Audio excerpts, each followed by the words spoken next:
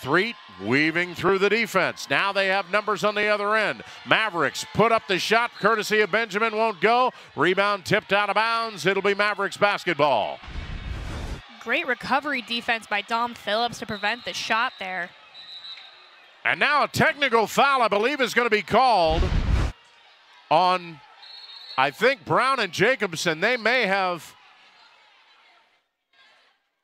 I think they may have called at least two technicals, possibly four, because first it was Katie Bossenmeyer calling a T, and then Nadi Carey. So it looked like tempers flaring, at least a double technical.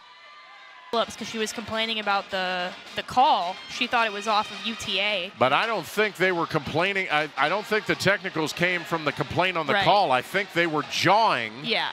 in the in the pack when they were getting ready to inbound the ball that was just what caught my attention was I was I saw Dom Phillips complaining and then yeah they immediately called the text on two other players so there's just a lot of sparks flying down there. Well, we want to take a minute and thank our great crew today. Our student producer, Chris Garcia, Chris Albright, and Joshua Ali on camera. Ashlyn Thompson handling the graphics. John King, our broadcast engineer, and our director today, Scott McDonald. We also want to thank our other directors all season long, Travis Fleming and Leo Flores.